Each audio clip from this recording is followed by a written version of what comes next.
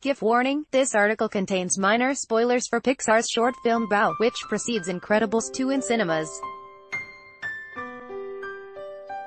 Incredibles the second of may be breaking records right now in the United States, but for a lot of people, it is the Pixar short preceding it, Bao, that is the real highlight.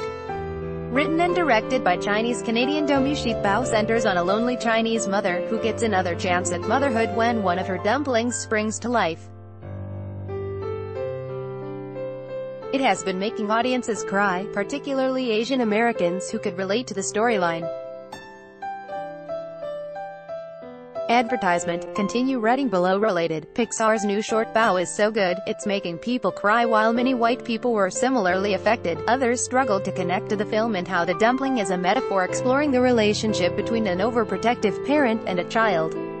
One tweet, calling Bao the most confusing 10 minutes of my life, went viral, drawing tens of thousands of retweets. But Asian Americans who are affected by Bao have been sticking up for it, highlighting the huge importance of representation and pointing out the cultural divides. This joke is amazing. Here are some more responses. Related, all of Pixar's 19 short films, ranked, everyone in the world has been an overprotective parent who won't let go of their kid or the kid who has left the nest. Director Shi told Time in a recent interview about Bao. And they're brought together by food at some point, we're using that universal theme of food and family as a Trojan horse to introduce people to Bao's in Chinatown and what a Chinese home looks and feels like. Incredibles 2 is out in the UK on Friday, July 13th and out now in the US. Want up-to-the-minute entertainment news and features?